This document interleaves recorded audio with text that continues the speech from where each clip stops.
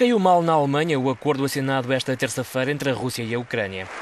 Na cerimónia de tomada de posse do novo governo, o recém-empossado ministro dos Negócios Estrangeiros alemão mostrou-se muito duro face ao presidente russo Vladimir Putin e também à forma como o governo de Kiev reagiu contra as manifestações a favor da União Europeia. É de facto revoltante a forma como os políticos russos aproveitaram a aflição económica da Ucrânia para, em benefício próprio, impedirem a associação comercial com a União Europeia. Como revoltante foi também, como todos podemos concordar, a reação das forças de segurança ucranianas contra os manifestantes gegenüber den Demonstranten.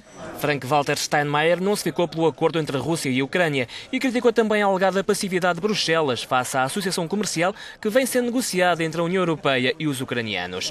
Para o novo ministro dos Negócios Estrangeiros alemão, Bruxelas não terá dado a devida importância à posição económica delicada em que se encontra o governo de Kiev.